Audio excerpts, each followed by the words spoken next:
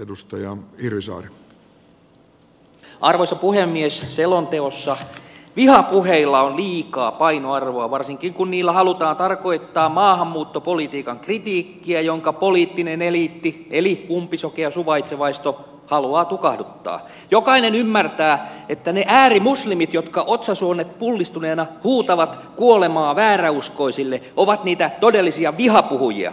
Ja heidän saarnoilleen pitääkin asettaa ehdoton nollatoleranssi. Nyt halutaan kuitenkin hiljentää myös kyseisiä vihasaarnaajia kohtaan osoitettu kritiikki, koska vellihousut pelkäävät islamia. Arvoisa puhemies, islam onkin vaarallinen ideologia, joka tuhoaa tämän kansakunnan, jos valtiojohto toimii pelkurimaisesti.